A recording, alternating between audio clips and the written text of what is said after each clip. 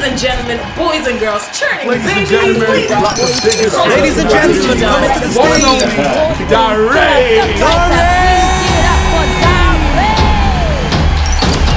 One of the best ever boys to ever come out of Nigeria. I had to with a lot of energy, and to the only, one and only Darey. Yo. I've still been around um, doing this and that and being here and there. So I haven't really felt like I've left, but musically, I'm back.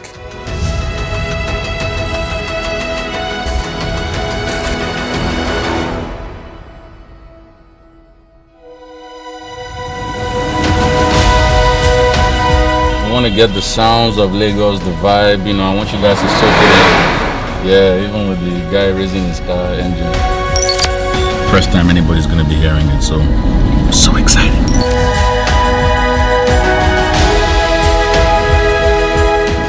Really fortunate to have some of the best people at what they do surrounding me, and they've encouraged and um, supported me to making my dreams come true. Now is now. There's no better time than now, and it's taken you know quite a while recording over the years, and having been quiet for just about five thereabouts. So yeah. My key focus is the music.